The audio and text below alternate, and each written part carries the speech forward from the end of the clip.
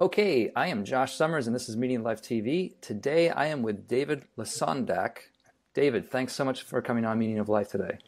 Josh, thanks for inviting me. I'm really, really happy to be here virtually. I'm looking forward to it too. So, David, you, as an introduction, you are an allied health member in the Department of Family and Community Medicine at the University of Pittsburgh Medical Center, where you maintain a clinical practice in structural integration visceral manipulation, and other fascial modalities, which begs the question what is a fascial modality? And for, for our benefit, you have written a, a nice book that's recently come out called Fascia What It Is and Why It Matters. And that's going to be our topic today. And I just want to say from the outset that I really appreciate your title because it sets my job up to be much easier. just let's start with the first thing now. Um, so fascia, it's what is it? Okay, fascia is your connective tissue and your connective tissue system. So uh, fascia is made predominantly of collagen, which is uh, the strongest and most uh, abundant protein in the body, and it's the white stuff. Uh, so for uh, those of you who are still carnivores, um, it's uh, it, it, it's what we think of as gristle or the white stuff in spiral cut ham. But in living organisms, animals, ourselves, it's a very lively medium, and it covers every bone, every muscle, and even every nerve and every organ. So something like this, and it moves and stretches as we move and stretch. It also gives us some stability because fascia has a uh, has a weave, kind of like nylon hosiery, that gives it both really good strength and a fair amount of stretch. Uh, problems arise when the fascia gets damaged, when it gets hardened, when it gets dried out. And uh, these things show up all the time in my clinical practice uh, as people who have had this test, this MRI, this thing, that thing, and the other thing, they're still in pain, and nobody can figure out why.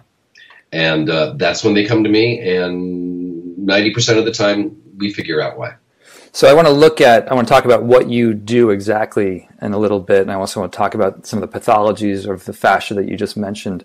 But just for people that are just coming into this sort of tabula rasa, not having uh, heard the to- topic before, or heard the term, um, I think one of the hardest things to grok for me, at least with fascia, was the ubiquity of it.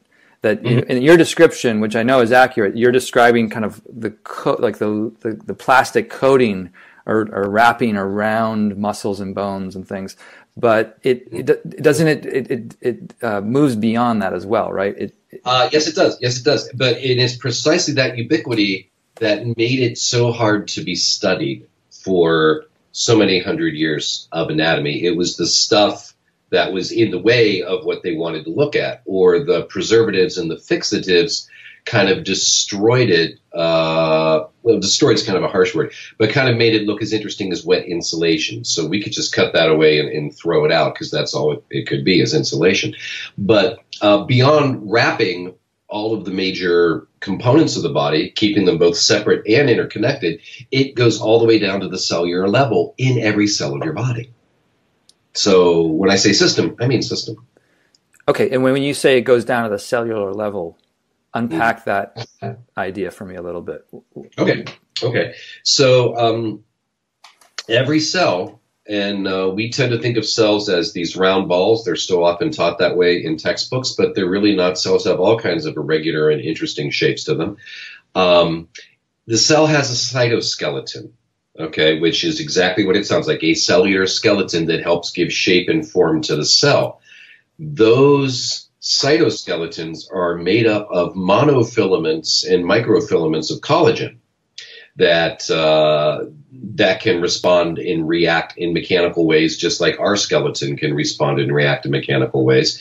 And those cells are actually plugged in through a particular cell receptor that pokes out of the top of the cell that responds to tensional and vibrational messages within the whole fascial system of the body. So, did I unpack that, or did I make it more complicated, or did I do both, which is my favorite thing? I think you may have done both. Good. But Right. So there's basically, I mean, I remember thinking back to my, you know, whether it was high school or pre-high school biology class, we learned that um, cells, the cell behavior was influenced by chemical messengers that would attach to chemical receptors on the cell membrane. Caffeine, right? yes, right. caffeine, caffeine yeah. among other things. Mm-hmm. But what you're describing is a relatively, I mean, I, I, would be curious in the history of when this was discovered, but there's a relatively recent discovery that in addition to chemical receptors in the cellular membrane, there's also what are called mechanic mechanoreceptors, right? Mechanical receptors. Yes. Yes. Mm-hmm. Right. And those are the those are the, those are the receptors that are integrating or connecting what's going on within the cell to what's going on outside of the cell in terms of stresses placed on the body or mechanical forces placed on the body. Very good, Josh. I think you've read my book. Uh, well, you, I did for the for the folks at home. Um, the and you probably knew about mechanoreceptors before you read my book because I know your background. Um, but they're a relatively recent discovery as far as I'm concerned. Uh, but the the mechanoreceptors and they're easy to remember because they're called integrins, like integrated or integrated shun. Um, the integrins uh, don't take chemical messages in. They don't go, ooh, caffeine or mm, morphine. Uh, they go, ooh, uh, vibration, ooh, pressure. And when those integrins are stimulated, uh, they send a message through the cell membrane that goes all the way down to the nucleus and can actually change which genes are firing and which genes are not firing. Uh, they can actually create cellular change by changing the tension within the cell. Uh, this is the groundbreaking work uh, of Donald Ingber from Harvard, which goes back to the 1990s. It's that old, but ideas in science take a long time to really filter into the mainstream.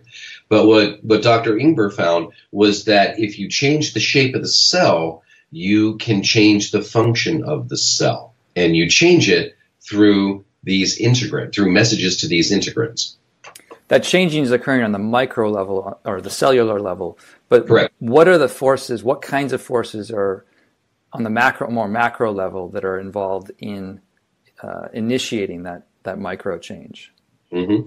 Uh, compression, so push, uh, and also vibration. So, you know, a strong, I mean, if, if you think about uh, those really heavy percussive massagers mm-hmm. that people use, or even this old technique uh, that they use in Swedish massage called uh, tapotement, um, you know, that sends a vibrational message. Um, there's also uh, there, there's uh, some researcher, and I've only found his stuff on the internet that claims that there are cell receptors uh, Pacini receptors, this gets into the nervous system, deep in the pancreas that respond to heavy bass tones at uh, concerts. So um, I think the I think this idea of us being affected by vibration uh, is is deeper than just a, a, mechanical pressure. I think it's also a sonic one as well. So you are influencing when you go to that rock concert. You are influencing yourself on a cellular level. Yes, you are okay. So you alluded earlier to some of the ways that um, the fascial system, the connective tissue system, can become problematic, whether it's uh, it gets thickened or hardened or dehydrated. What are the sort of the, the, the conditions that lead to those kinds of pathologies, and how do those pathologies uh, become symptomatic or, or manifest in people's experience? Okay. Uh, the short answer is usually through accidents and injuries, uh, and that's the majority of cases that I see. Uh, I, am fortunate working where I am. I, I, get some way left field kinds of things that may have autoimmune or, or other aspects involved. Um, and, and sometimes, honestly, PTSD can have physical holding patterns associated with it well. So if we go to the macro level, um, your, your fascia is uh, is is um, the head of sports medicine at Ulm University once said, "Fascia tells your muscles what to do." So, in terms of holding tension, they have a strong component to that holding of tension. So, um, if you have an accident or you have an injury or you have a surgery, uh, that incision disrupts this fascial membrane. It puts a rip in it that can never quite be rewoven before it was ripped or before it was damaged. So, in the case of a high impact injury where there's swelling, these little collagen connections break open, and that allows the fluid to come up out of the extracellular matrix and create the swelling. Eventually, that will calm down and heal. And I would never recommend getting fascial work while you're actively swollen. That's a bad idea. Um, but these are the sorts of things. Now, when they heal, they need to be healed properly. And they heal properly by getting good mechanical messages. So it used to be umpty ump years ago that when you had uh, an injury that was serious enough, they would put you in a cast till the bone healed, and they would tell you not to move, or they would immobilize your arm and say, "Do not move this for two, three, four weeks." We now know that's wrong, and I think it's in it's in the first chapter of the book, mm-hmm. John.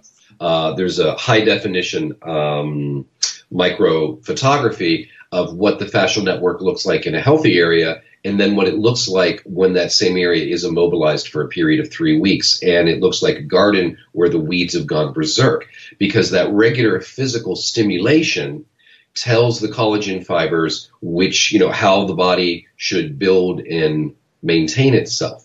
In the absence of regular physical um, activity, it will grow every which way because it's not getting any particular stimulation. So to, to make this a little simpler, it's it's really good that the body does this. So let's say I'm a, I'm a baseball pitcher and I'm putting a lot of force through my body as a right-handed pitcher in a particular way. That collagen network over a period of months and a few years is going to slowly change itself to provide the necessary stability and resilience to support what I'm doing on a regular basis. Uh, and that's great. That that's part of how we literally on the inside grow and change. Now, where it's not maybe so great is to use the the current digital. Everybody's down on the digital culture, right? So, uh, you know, if I'm looking at my phone all day long like this, and I'm going to work, and my workstation is up here, and I'm typing like this, and then I go home and I play video games like that. I'm putting all this tension into my upper body. I'm having to elevate my shoulders and lower my neck a little bit, and I'm using my hands in a very limited fashion, kind of like a T Rex. Um, there's a cartoon for you. And um, so, if that's all I do, over a period of six to 18 months, that collagen is, re- or, is going to reorganize itself to support this. Now, it doesn't mean I'm going to look exactly like this after 18 months, but there's going to be hardening throughout this aspect uh, the upper aspect of my body, and even points beyond possibly. Mm-hmm. If don't do yoga or exercise or go play basketball or do something to vary the constant message that I'm giving to my body by my repetitive usage. So what will happen is the collagen will densify in those areas, possibly even dry out in places because there's a there's a lubricating fluid between the muscles that's secreted in the fascial layers, and if that doesn't get sufficiently stimulated, then it just kind of like glue will dry out until you can stimulate it and get it producing hyaluronic acid again. So these are more the kinds of things that I see. Can I pause you, pause you for one second? Yeah, sorry, because just, let me just let me just replay that a little bit because okay. you're speaking about the way you're speaking about it reminds me of uh, an image or a metaphor that came to me during my morning meditation today when I was thinking okay. about talking to you. Um, the idea came. I had the memory of a, as a kid making um, pinatas with paper mache, where okay. we'd blow up a balloon and then take strips of newspaper, dipping them in plaster of Paris that would be laid upon the balloon mm-hmm. in successive strips and layers, and then the thing would dry and harden. And I was wondering if you saw any analogy in that. So the, the, the, balloon could be removed, removed, but that hardening of the of the of the paper mache or the of the newspaper with plaster Paris would thicken and harden and become quite brittle. And it, mm-hmm. it struck me as something similar. Like if there's a chronic holding pattern of the muscle, with in a, in a tensional way, um, and kind of immobilized for a period of time. You're saying that the body, the, the fascial system of the body adapts to that chronic holding and kind of becomes thicker and harder.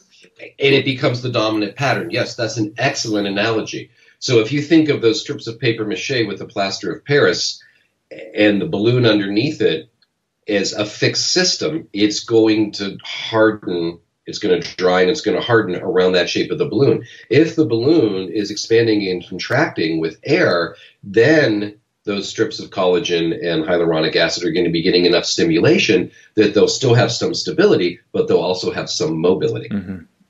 So that's an excellent analogy. Well, thanks. It, you know, it, I like to claim it, but as most ideas come to me, I realize I'm not generating them in meditation. They just come to me and coming from somewhere else. So deep in your subconscious mind, deep within my subconscious, right? Um, so the question then is, if if it sounds like immobilization is is one of the the, the etiological factors here. Mm-hmm. What is what's part of the prescription? Is it just movement, or is move like moving going to be enough? Well, this is yeah. Um, I don't think so. In, in my professional opinion, um, no. Um, I think, or or put it this way, um, it's it's a slower path. Um, so, and in your uh, you're a yoga teacher. Yes. Uh, I, I've been doing yoga since my early 20s. Um, and certainly have had some very profound experiences of experiencing my own body in that circumstance. But if um, you know, if, if if I if I can only move my arm within a certain range, it may be possible that over a period of months and years of doing yoga, I will increase that because of the slow, mindful quality of yoga. If I'm not doing crazy Ashtanga flippy do yoga, um, you know, because I'm really focusing on, oh, I want that extension, I want that extension, I want that extension. So that stimulation over time can work. Um, I think it's a lot better if if somebody comes into me and says, "Wow, you know, when I'm doing this, I, I my shoulder doesn't move very much." If I can go in and manually have them stretch while I'm doing compression and shear and the things I do with my hands, then they go to the yoga class. Suddenly they can do more with it than they could have before the intervention and faster. And it will take them places that I just can't go with my hands either. So I think I, I think it's a prescription, and I always I always give uh, my patients homework. So I, I, don't give them a tear off sheet of 12 things they don't have time to do. I usually try to find one or two simple things that they can do to to as they since they have more motion now to help them maintain that motion between their their treatments with me. So you're speaking a little bit about what you do professionally, and it might be good to pause and just un- unpack that a little bit because people listening might think, "Oh, he sounds like a massage therapist, or he sounds like you know a, body worker of some sort." But specifically in your field as a clinician, a what what do you how do you name what you do, and then and then what specifically are you working on um, in in your in your specific work? So uh, I don't mind being called a body worker, not at all, um, because that's that's uh, and if you looked at what I was doing from the outside, you might think it looked like massage, um, but it doesn't feel that way, and and the goals are different. So uh, as concisely as possible, uh, somebody comes to see me because they have a complaint, whether it's chronic pain or shin splints, or I can't do X, Y, or Z as well as I used to. Um, and uh, I, I, listen to their story, I get their medical history, and then they get down into a pair of shorts, and uh, and I look at them, and I look at their standing posture, and I look at it from all the angles, and because I understand the way the bones line up and what's going on underneath the bones, and also taking into consideration the things that they like to do, um, I can make some pretty well educated guesses of where they're stuck. Okay, sometimes it's very, very, very obvious. Uh, like in the case of a driver who drove a stick shift, who always had a problem on one side of his low back, and his lib, rib cage was literally shifted to the side where the stick shift was. So if his hips were here, his rib cage was over there. Mm. So that was real obvious to see. Okay, here's why you're always having problem in that part of your back. Um, sometimes it's sneakier or less obvious. Um, sometimes people come in and they, they they look like they were drawn by Pablo Picasso. Uh, and that can be a little complex to begin to untangle, but you do it slowly and systematically. So what I will then do is, map out an, uh, an area that we're going to focus on for that treatment. And I'm going to use my hands in a very slow, methodical way while they very slowly stretch in a particular direction. So let's just say, for whatever reason, I was working on the quadriceps, the thigh muscles, the outer thigh muscles. I might be going up the thigh muscles this way, while they're just very bending their bending bending their knee and extending their knee like this to put stretch in through the quadriceps like that. So that that stretch combined with my compression and glide and angle um, seems to be interacting with the fascial network uh, more than the muscle, and it feels nothing like massage. And because they're active in the treatment, it also stimulates the nervous system, and it also gets the brain working in ways that a passive treatment just doesn't quite so much. And I think that gets a better, faster result. And uh, to just chime in with a personal uh, testimonial. This I've I've received this kind of body work myself, and distinguished from massage. Massage. Uh, massage can be deep. Sometimes people talk about they like deep tissue massage. That's maybe you can comment on that in a second. But um, this kind of body work, it, it it, has a kind of at times it can feel like a, a almost like a blowtorch is coming in, and and right. just lighting up the area. I mean, it is yeah. it's it's a hot kind of sensation um, while yes. while things are being stimulated. So um, translated as itch, also, which I find interesting, mm-hmm. or like a dull bruise that doesn't feel good, but they're like, oh wow, that place really needs to be touched, mm-hmm. even though it feels like a dull bruise. But but come back to the issue of like, we use the phrase densification, which I think, which I learned in another webinar with you, is the is that the more contemporary term for adhesion? So uh, if, yes. If people think of muscular knots, that's usually some kind of fascial adhesion, right? It's not well, or or densification. Yeah. Um, I mean, you know, it's just you know, it's all it's it's all metaphorical in a way. Um, but the preferred clinical word we like now is densification because there is a buildup of collagen in that area. So if I'm, you know, I feel that, I'm, you know, I feel that is like going over and it's smooth, smooth, smooth, and then suddenly I hit a speed bump, mm-hmm. or suddenly things aren't sliding as well next to each other as they should be. That's that's another reason for the slow active movement is I can feel how the muscles are sliding relative to each other or relative to the bone. And that info, and that that also can have an effect uh, on how specific or general I use my hands is is feeling that quality of glide. And uh, obviously, you're uh, an external force being applied to that area um, mm-hmm. as a, as the practitioner. Is it something that uh, someone could do on their own? Is, is oh, this is this is a good question. Self myofascial release. Um, obviously, I have a bias because I want to keep working. um, but I uh, I do have uh, I do have a roller that I'm quite fond of, and no, this is not an, a paid endorsement. Um, I like this one because of the ridges. It allows me to get into places that I couldn't get into otherwise. Um, so I think to a degree you can stimulate the fascial network, but there are some places that are just really, really difficult um, to get to. Mm-hmm. Um, and also, you need to be slow and discriminating. I, I um, quick example: uh, I had somebody come to me with a, a, trendy thing, which is IT band syndrome, and um, which IT band is okay. So your IT band is that strip of white that goes down the upper that's here on the leg, um, that goes from the crest of the hip down to the outer aspect of the knee. It's designed to help keep us on two legs. It's very, very thick and it's very, very regular in its pattern. It's not designed to stretch very much. It's designed to support us. Um, and um, a lot of times people wind up having pain in this area and they try to stretch it out with the foam roller. That's never going to happen. Um, it would take about 220 pounds of force to create a 1% deformation. Now, this person who came to see me had been rolling uh, an hour a day for a month with his foam roller trying to work out his IT band. All he did was continually inflame it. Hmm.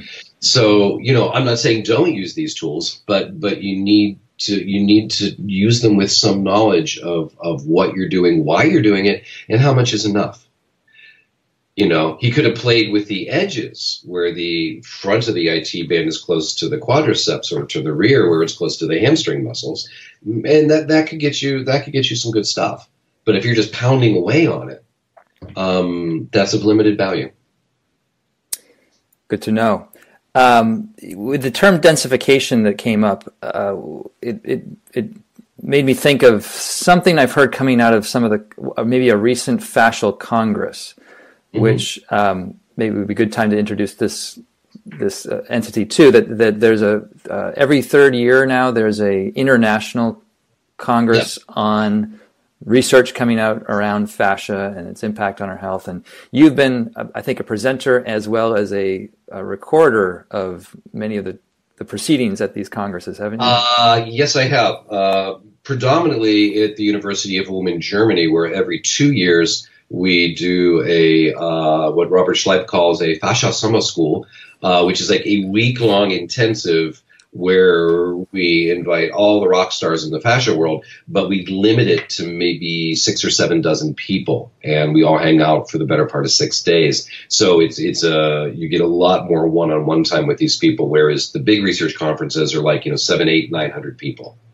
Um, so I've done I've done both of those. Uh, the next one is in Germany. It's in Berlin this November, uh, and you can find out more information at fasciaresearch.org. Great. Well, one of the things that you know you were talking about the densification causing kind of uh, dysfunction or pain in the body. But one of the things that I've heard come out of a recent Congress is that there seems to be some link. I was wondering if you could comment on this, but there seems to be some link between densification and uh, tumor migration, cancer tumor migration. Mm-hmm. Is, that in fact true? Uh, or is well, that a can of worms that we don't want to get into? Oh, that's a that's a cancer of worms.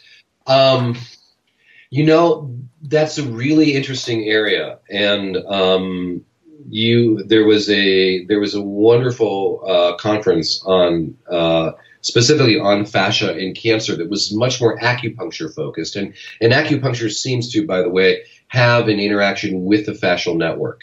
Um, but uh, if you, I bring this up because if you if you Google fascia cancer Harvard, there, there's complete videos of the proceedings. They're worth watching. Um, the tumors like to create a microenvironment within the cellular matrix that is very dried out. Um, and that seems to increase the proliferation of cancer cells. Uh, so the idea is that if you're if you're uh, more lubricated, I suppose, then it's harder for these cells to take root and grow. Uh, there remains some controversy over whether manual methods can prolif- can actually p- proliferate the migration of cancer cells or actually help slow down the migration of cancer cells by bringing more hydration to the areas, uh, to those areas that are densified and or dried out. Um, I've seen studies that indicate both. It's mm. in, uh, Tom Findley, who is an MD, who's also a, a structural integrator, and, and Helen Langevin, who's a, another PhD and a researcher who's an acupuncturist. Um, that they have some very strong and, and uh, well supported differences of opinion. Uh, so the, the jury is still kind of out. Just gonna, I was just going to say that. Sounds like the jury's still out. But the reason I wanted to bring it up was because sometimes people think, you know, fascia or the connective tissue is only related to biomechanical functioning. Like how can you move or how can you not move or if you're in pain, physical pain or not, or not.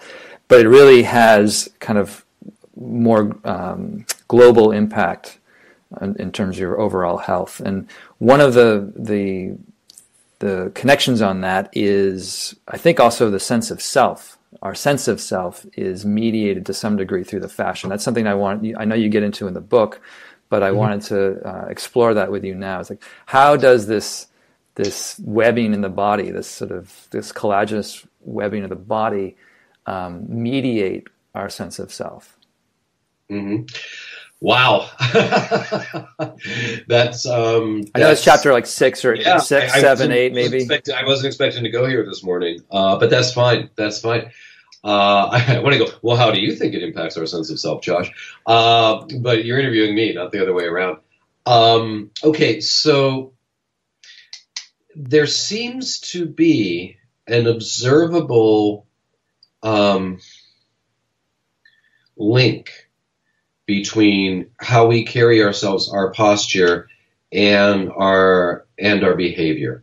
Um, the the the simplest one is uh, to look at people who suffer from depression. Uh, they have a few ways that they tend to physically present, and again, I'm going to keep it to the upper body because we're sitting down; people can watch us.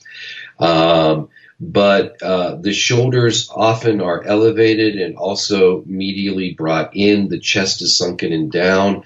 They have this kind of we call it an affect. Um, so what's what's this person's general affect? You know, are they you know are they bright and sunny? Are they really out there and and, and uh, authoritative? Are they kind of drawn in and quiet? Um, and again, if we get into regular stimulation of the connective tissue, if I'm really sad and depressed, and I'm really sad and depressed all the time, after a while, I'm just going to look like this. This is going to be me. And um, there's a there's a theory of psychology and the brain called um, that. help help me, Josh. Embodied. Not in not the embodied um, embodied theory of I'm just I'm buying you time right no, now. It's two words. It's two words. It's two words. Embodied cognition. Embodied cognition. It's going to run back and get the book uh, called embodied cognition, which is the idea that the the brain and the body. that the body is inextricably linked to how the brain processes reality. Okay, mm-hmm. that that consciousness and processing uh, is not some external or trans body. New word I'm making up. Trans body, excuse me, experience. Okay. Um, so if, if, if I'm like this long enough, this becomes me. And those people who come in to see me who maybe have, um, let's call it to make it easy, a sunken chest, folded in shoulders, their head sticks out. Um, when they go to breathe, it's like, they sigh a lot. Um, they don't have a lot of lung capacity. They have a depressed affect. Likewise, if you suffer from depression, your body may just naturally start to do this. I'm feeling down. This is an example of, of embodied cognition, which cataloged over 7,500 metaphors uh, that utilize the body to explain mental and emotional states, mm. uh, to show that we reason largely through metaphor, um, not pure logic.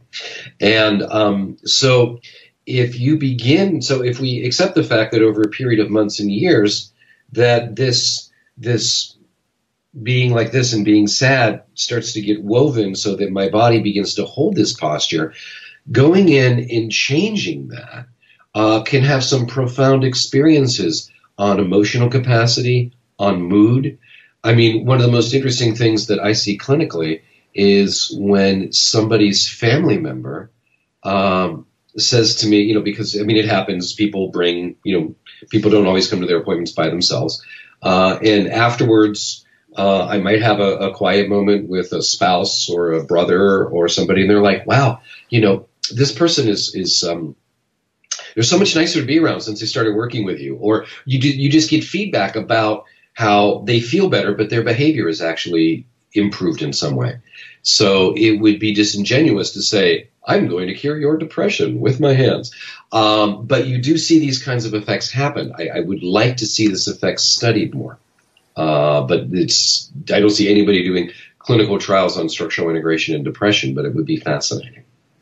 And so, in theory, then it sounds like um, the affective mind state of sadness could lead to a postural pattern, which then reinforces that that mind state of sadness or depression. But could it go the other way around? Yes. Where, whereby the just, I mean, I'm just thinking of all the the articles you see now that that, that links uh, sitting as, as sort of the, the, the new carcinogen, and that everyone mm-hmm. needs to avoid sitting. But the idea that came to me while you're lis- listening listening to you is that if you're sitting for a long period of time, you're going to tend to be in a slump position if you're not vigilant around that, and that in itself are you saying that it potentially or theoretically could could get the brain to fire certain neurotransmitters or certain uh, lack of neurotransmitters that would that would potentiate a pattern of depression or sadness? Um, well, it certainly has the capability of working both ways. Just as we can affect the the body via the mind, I believe we can affect the mind via the body. Um, in terms of sitting, it's again, it goes back to the M word. It goes back to mindfulness. Um, you know, how are you sitting? How are you using your body when you sit? Does anybody really taught you to sit for eight hours? My my father worked in steel mills that had its own repetitive use problems, not to mention much more catastrophic injury potential. Um, so we, we've gone from manufacturing mills to digital mills, and, and everything that we do has a has a potential for repetitive motion, therefore strain hardening, and uh, and a change in posture that we don't want. Um, I'm trying to think if uh, if I've seen people who come in who are desk jockeys um, who suffer from depression or it's an affect uh, or, or, they have a depressed affect. Um, it's been a while and, and nobody's really popping into mind, but certainly it could if that's all you do. I mean, just after two or three years of constantly being forward and pulled in and doing this, it's going to change your lungs ability to expand in your chest. Mm-hmm. Uh, and that that that inability to intake oxygen in a richer way is definitely I don't know I would go so far as to say well it's going to make you depressed, but it's certainly going to depress your responses to things because you're just not going to be functioning as fully as you can. Another can of worms. Yeah. This is the can of worms interview. Can of worms interview. Sorry. Uh, it's good. It's good. It's good. It's good. There's a lot of things we can speculate about based right. on what we do know, but uh, but we want to just be clear that they're speculations and I think that's an important point to make because, well, for one, the the, the scientific interest in fascia itself is a how how how old is the research in, in fascia at this point? It's fairly new, isn't it? Um, yes. Uh, I mean, there's some old research in fascia out there, but it's a little bit here, a little bit here, a little bit here. But it's been growing exponentially over the last 10 or 15 years. So I think when I Googled uh, fascia in the uh, in PubMed, which is like the database for all the peer-reviewed published papers, there were like 347 mentions of fascia in the year 2000. In uh, last year, uh, there were almost, uh, I'm sorry, uh, 347 period uh, in 2000. Last year, there was like 847. So there's been a huge change in the last 17 years and that's that's still I mean that's a big number in and of itself. It's still not a huge number if you like type in other things, but for us it's a big deal. Yeah. But it is still in its relative infancy, and so yes, a lot of stuff that it you're going to be reporting on is still early days, um, but suggestive of, of some. Oh, very very suggestive and and very credible in that the people who are doing the research in fascia are some very very highly skilled, uh, thoughtful, well educated people who are designing research to find out things, not designing research to get a particular result or prove uh, a particular theory. Mm-hmm. There, there, it's almost pure research in that sense. So much of research tends to be results driven. You know, well, if we test this drug, what are the outcomes of this drug so we can sell it? As opposed to, well, let's study this and find out what's really going on here. So I sort of, um, I kind of look at fascia research as inner astronomy. Mm-hmm. It's another new term I just made up. Inner astronomy. Inner astronomy. Another great word for the fascial net that you have in your book is the intranet. But and and in the fascial world at large, fascia is considered to be the extracellular matrix, which certainly sounds astronomical to me. Well, it does. In thinking about it, it, it can it can seem very much that way. Um, I, how infinitely small can you go? right. Uh, how infinitely out there can you go? Um, but yeah, the, the fascia also tends to function as a body wide communication system. And, and this is based on, again, things that we observe. There's the obvious tensional messages. So if everybody sitting there watching this right now, provided you're not driving, stretches your arm out and just keep stretching. Try to stretch even beyond further than you can go without hurting yourself. You're going to feel a message of stretch down into your shoulder, maybe all the way down into your low back or your buttocks or even your leg, depending on how you're sitting. If you If you push your feet into the floor and do it again, you're going to feel that tensional message even further throughout the body. But there's a, a class of cell that we discovered called a telocyte that uh, is a molecular messenger cell that lives in the fascial network. And what it's doing there, we don't even know yet. We just know that it's like a little shuttle that uh, carries one chemical uh, from one place in the net to another place in the net and then delivers that payload. Uh, but we just discovered that cell less a little over a year ago. Uh, so how about that? There's a new cell in the body. Ooh. New cell, a telecyte. A telocyte. So yeah. At the cocktail hour, I can bring that up. Um, Please do. Yes. Mm-hmm.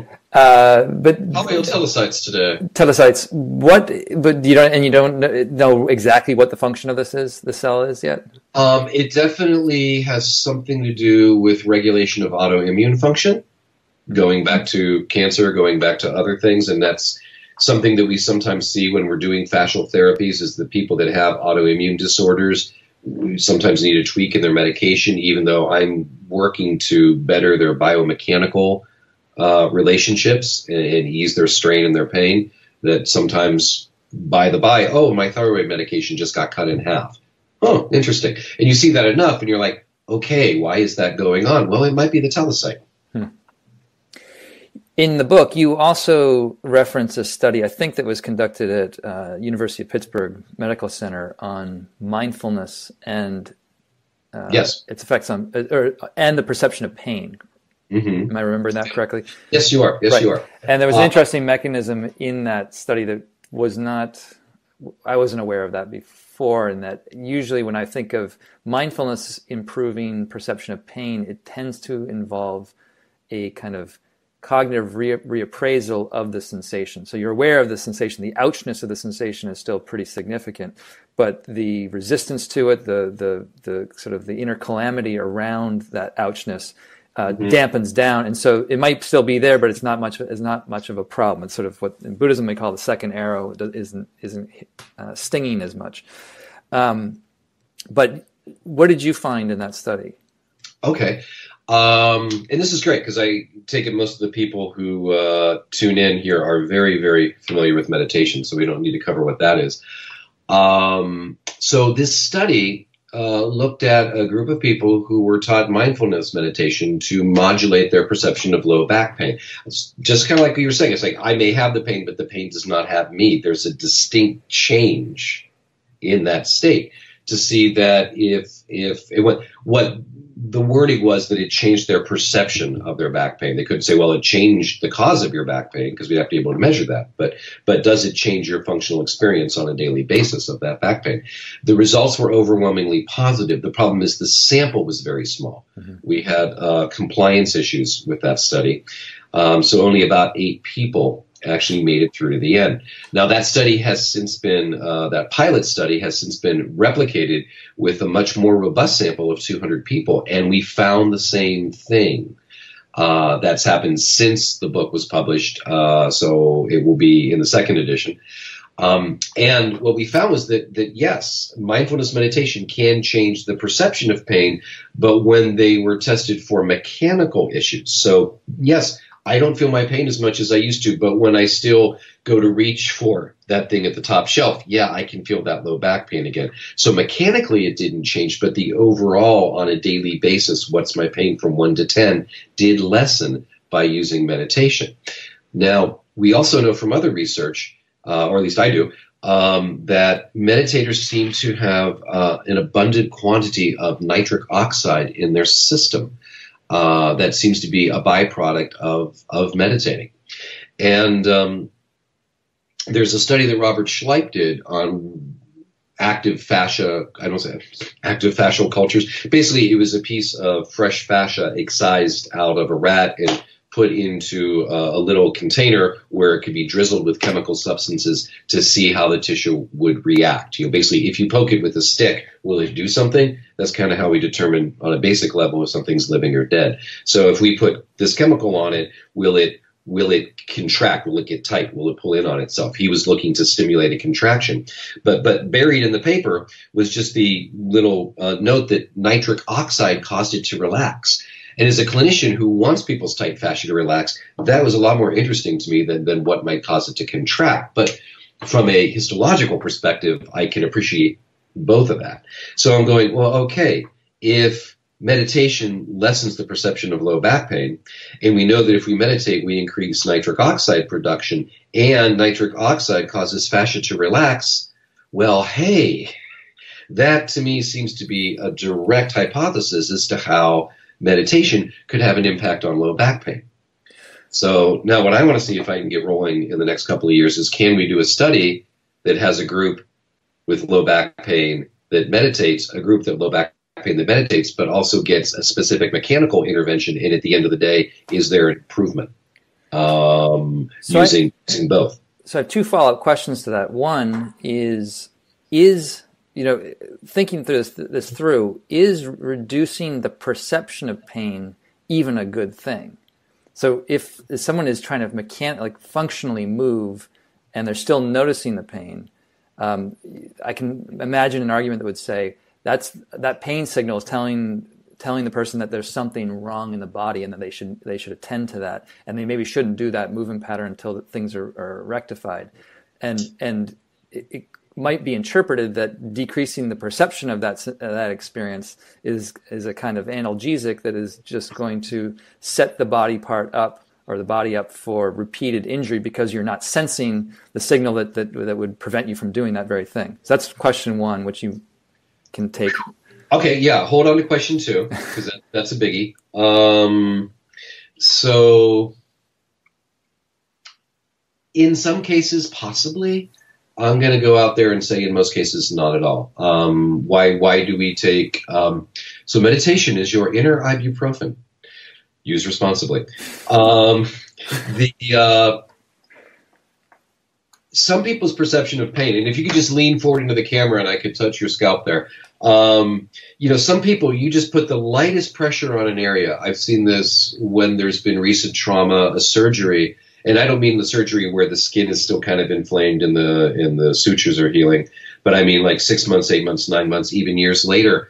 And the barest touch, and these people are just having this reaction that's way off the charts in terms of pain. And I'm not even really putting any compression into that area.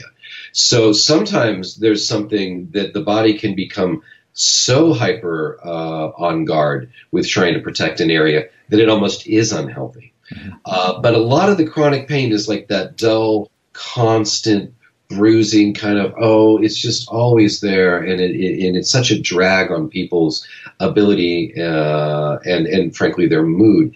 That's what we're talking about with this kind of perception of pain. Like okay i'm aware the pain is there but i'm not going to let it get in my way of getting up and going to the grocery store today or doing something else that i really want to do however they also I, I would argue are aware that that they know where their limits are if they go too far, or at least they should. Uh, but I, not having worked exactly on that study, I'm not sure how finely granulated uh, uh, that was in that regard. But I, um, but I would, I would say, you know, as a rule, no.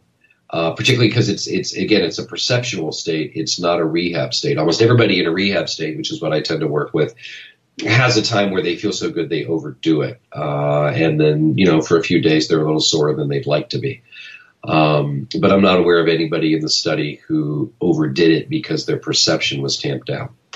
And so you're describing, you know, one way of for me to think this through is that sometimes in, in meditation we think about our mental reaction being overblown to the actual stimulus of what's going on, and you're describing a way that the, the, the body's reaction in terms of signaling of pain is over amplified commensurate to what's actually going on in the on the tissue level. Correct, correct. And there's there's the whole um, pain science uh, people that pain is all in the brain, pain is an output of the brain.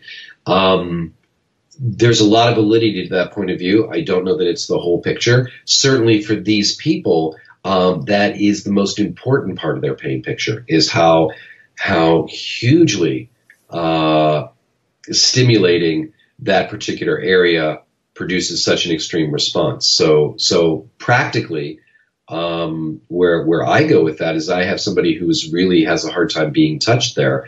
Um, they need to we need to normalize that to the point where they can be touched. So sometimes i find that if they put their hand on my hand or they put their hand on it then i put my hand on their hand it acts as kind of some kind of strange short circuit where they can at least allow that area to have some time some kind of tactile discrimination.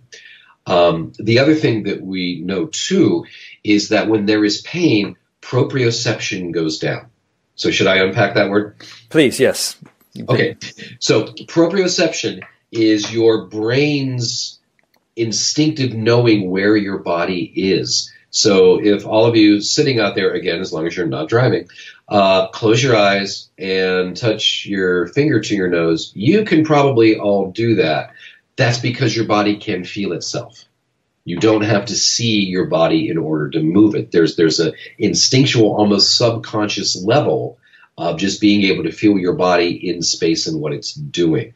Uh, but it's that's different than coordination. Proprioception is literally your sixth sense, and there are a number of studies I cover in my book where they found that if you deadened proprioception in an area of the body and then had people try to do activity with it, they immediately got a pain response. Um, I mentioned those sliding layers of the muscles earlier, um, where um, the fascia around the muscles is responsible for uh, keeping those areas lubricated. Uh, in those sliding layers, there are a lot of these sensory nerves that sensory nerves give us hot, cold, pressure, uh, tension, all those kinds of messages. Um, in the proprioceptive states, it's as if those sensory nerves only know how to call 911, only know how to dial in an emergency, like, wait, don't do that. Because it's like literally on an instinctual level, that area of the body cannot be felt. So, in absence of being able to feel it, um, it sends out a danger signal. Mm-hmm. Then you've got the really weird off the charts things with people who are missing a limb, but they can feel pain in the foot in the limb they don't have anymore. So that's where so that's where I say, okay, that pain is now put to the brain thing with the phantom limb syndrome. Wow, that's a thing, but I think it works from the bottom up also, not just the top down. Mm-hmm. Yeah, and mentioning phantom limb pain uh, reminds me of, I believe it was the neuroscientist Ramachandran who devised this very ingenious therapy for phantom limb pain, where he would put people into a mirror box where they would wave their their intact limb that would generate a mirror of the missing limb. Right, right, right, right. But the brain would, you know, through the through visual uh, um, input, see that the, the the the missing limb was actually functioning normally, and the pain immediately would disappear. We're really weird, aren't we? I mean, that's I mean that's like, what a what a what an interesting. If I was designing an organism, what a uh, what an interesting uh, feature. Is it a software bug? I don't know. Uh, but it's fascinating to me that such a simple procedure could create such a profound result. I, I also know somebody who on their on their fake leg put a, a, dot on the bottom of their foot that when they got their phantom limb pain, if they pushed that dot, if they put pressure on that dot, even when the leg was detached from their body, their phantom limb pain would go away. Very, very spooky stuff.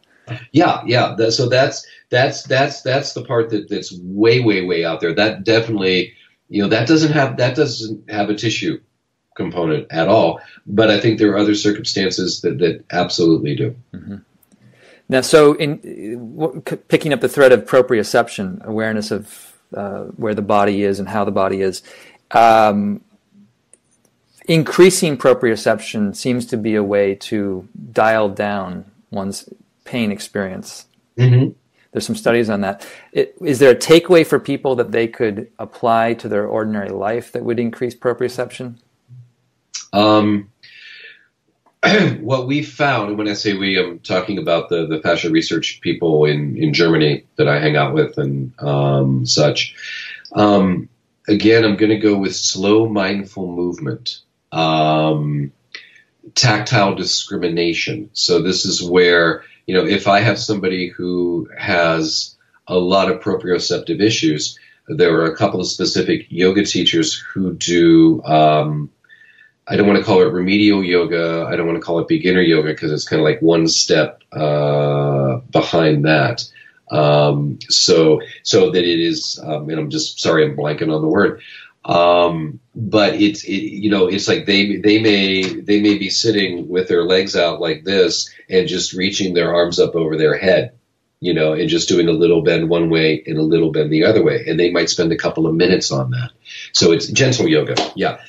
So it's a very gentle way of stimulating that discrimination and that sense of proprioception in a safe environment where you feel like okay i can see how much is too much uh, because what, what, tends to happen is um, the less that we do something, the less we have the capacity to do something, both on a level of the tissue itself and the relationship between the tissue, the nervous system, and the brain.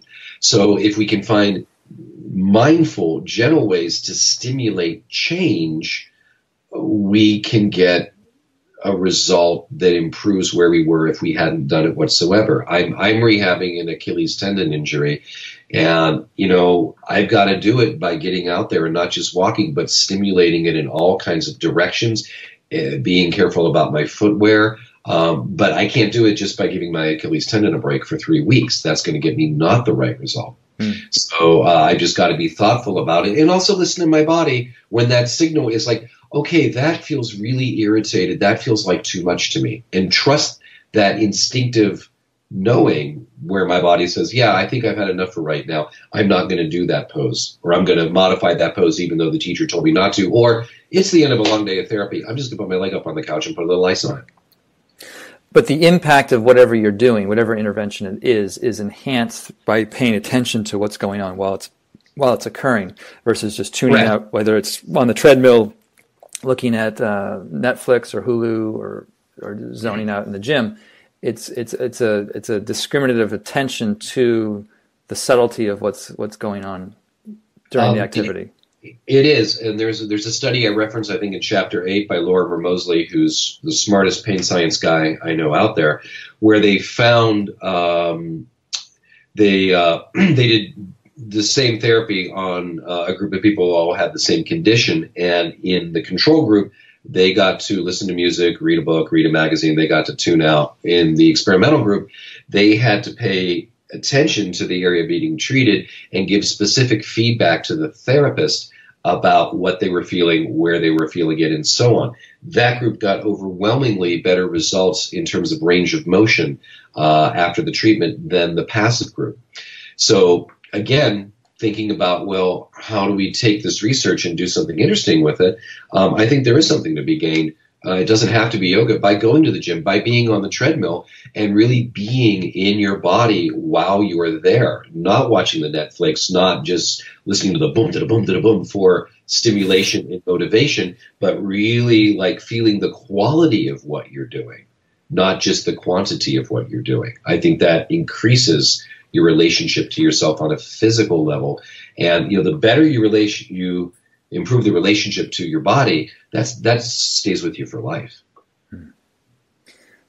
That that's a good um, maybe potential closing point. I want to ask you: Do you have time okay. to tackle the concept of tensegrity?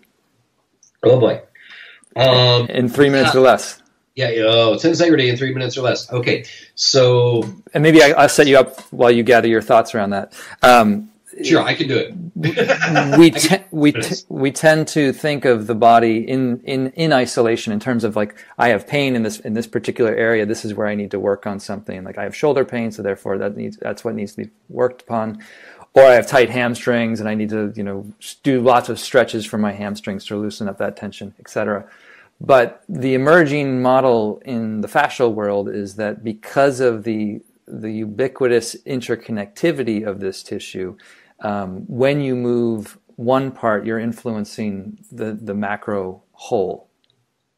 Mm-hmm. Uh, is one ta- one takeaway, um, yes. and that relates to this concept of tensegrity, which is a term coined by a neologism coined by um, Buckminster Fuller, the architect, right? Correct. Yeah. Correct. The uh, the artist who created it called it floating compression sculptures. I just happen to have one right here. On um, and it's a combination of the words tension and integrity. So we have to have a healthy amount of tension, otherwise we would collapse. But too much tension isn't good either. So how do you have balanced tension? How do you have balanced tension throughout the whole organism? So in the tensegrity model of the body, the, the old mechanical model is you know, it's a lever and a pulley. And, you know, the bicep and the elbow joint is definitely a lever and a pulley. But then we have this model that the body is a machine and it's all levers and pulleys. And that's not really true either. Uh, in the tensegrity model, the bones float. The bones don't actually touch, which in the body they don't either. If you look at any skeleton model, it's held together by wires and screws. Um, but the bones float in a tensional network that is contiguous, meaning that all the borders touch, but the bones themselves are suspended in here. Now, when it gets pulled on, it can cause a deformation. So I see a lot of people who come in like this. Uh, and you need to be able to understand where the deformation is so that you can create a change in the tension that increases the stability and the mobility so that things function better. So, you know, and the idea here about the deformation is if I apply enough force on it long enough, then suddenly I become this deformed thing, okay, as opposed to something that's more springy and can handle uh, the tensions and compression that life throws at me. And we know that this tensegral, oops, and I just I just dislocated a bone. How about that?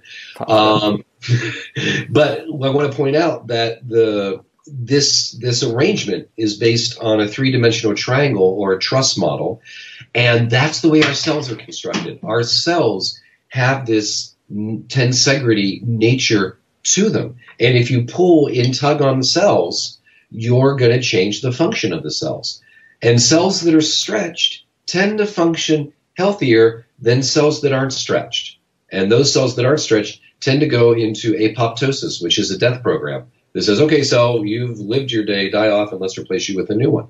Um, so this tensegrity idea, it's not just for fascia and bones. It's for your cells too. And that's again in Donald Ingber's papers. Mm-hmm. And in my book in chapter two. So it, it, it makes me think of another book by uh, a novelist, Geoff Dyer, who wrote in 2004 wrote a book called Yoga for People Who Can't Be Bothered to Do It. But this, this model of tensegrity suggests that you, mm-hmm. in addition to doing, say, body work or moving mindfully and, and being uh, attentive to what you're doing with discrimination, it suggests that you would want to have these broad body wide postures uh, and, and stretches to kind of awaken those connections through the tensegrity um, tissue. Um, exactly. So if I'm in a down dog, uh, and my focus is not just okay where's my form how high up am i blah blah blah blah blah but i'm actually playing and aware of the whole line from my hands up to my back down the back line all the way down to my feet i can play with that idea of this body wide uh, tension. That's called a pandiculation, a body wide stretch. It's what your pets do when they get up after a nap. What's the first thing they do? They don't even think about it. They just they do these big body wide stretches. They don't do an isolated stretch. And that's where I think a lot of this, the anti stretch movement, a lot of the studies on stretch that say stretch doesn't work is because of the measurements involved have to work in these isolated ways and not these full body pandiculation kind of ways. Mm. Um, so again, it's um, um, I, I lost my train of thought there, Josh. Well, let me, let me feed you one more thing, because this this this understanding of, of tensegrity suggests that I mean one takeaway is that increase in tension in any one area will will propagate a tensional pattern through the through the through the system at large. So Correct. you can have a tension, say, coming back to say the, the pattern of depression where there's a, a, forward slouch, that could cause a tension pattern in the front of the shoulder, which then could show up with uh, sort of a, there's a snarl or a snare in the fascial net, which then can show up further or afield. A, a, densification. Uh, a densification. Six to eighteen months later, six to eighteen months later, that that that could create a hardening somewhere in the in the zip code of the pectoralis muscles, which are the chest muscles and the upper arm muscles. Absolutely. So, you know, if you put enough tension on it and it's resilient, it will spring back. If, like me, you dislocated one of the bones, you've got to work at rebuilding your tensegrity and getting it resilient again so that it can withstand compression and stretch and kind of spring back to where you want to be most of the time. And as we age, we want to maintain that spring. As mu- yes, as much as possible. And in age, age matters not. Um, the uh, you know I've seen people in their 70s who have more spring and bounce than some people I've worked on in their 40s. Uh, but it can be, and we do as we age, we things do dry out and such, uh, and tissue does get older, and some things can't be restored, but much of it can. Um, you know, I think of the famous yogi uh, who didn't start till she was in her 60s, uh, who did all those incredible um, uh, back bends and pretzel twists. That's not Scaravelli, is it? Yeah, Scaravelli. She didn't start till she was in her 60s. And look what she was able to do by her 80s. You know? And she probably, I don't think she was that flexible when she started. So, you know, there's, there's, uh, in, in orthopedics, there, there's a growing branch of orthopedics called um, restorative orthopedics or restorative medicine, or regen, sorry, regenerative, uh, regenerative orthopedics, and it's about how can we leverage the natural regenerative properties of the body to to enhance and restore an injury Mhm. or an accident, not just go in there and put in screws and plates and, and give it PT. Important stuff. Um, I'm realizing we're at the top of the hour, and I want to be mindful of your time. Um, but I want to thank you very much for uh, everything you've elucidated upon. It's been a workshop for me, and I hope informative and helpful for others listening. Um, you do structural integration. People can find, look up structural integration, and and look for a therapist that might be able to provide that. Um, and also your If, book. if you're in the Pittsburgh area, just type in Pittsburgh and fascia. I'll pop right up. And then your book, Fascia, what it is, what it is and why it matters. It's available uh, through Handspring Publishing, and we will be including a link that, uh, for a limited time, gives a discount, I think, on purchasing it directly through the, the publisher. Direct from a publisher, that's correct. You can get it in numerous outlets, but for you watching, use the link, use the code, get 15% off. A little benefit there. Yeah. All right. Thanks for tuning in, everybody. Thanks for thanks so much, David.